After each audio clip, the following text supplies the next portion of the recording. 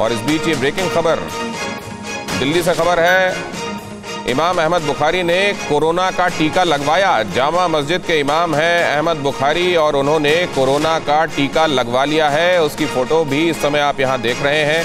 और ये धार्मिक नेता जिनके फॉलोअर्स इस बात से बहुत प्रभावित होते हैं कि उनके लीडर क्या कर रहे हैं, ज़ाहिर है वैक्सीनेट कराना अपने सभी फॉलोअर्स को भी एक संदेश है कि जो लोग टीका लगवाने के लिए एलिजिबल एज ग्रुप में आते हैं, वो टीका ज़रूर लगवाएँ।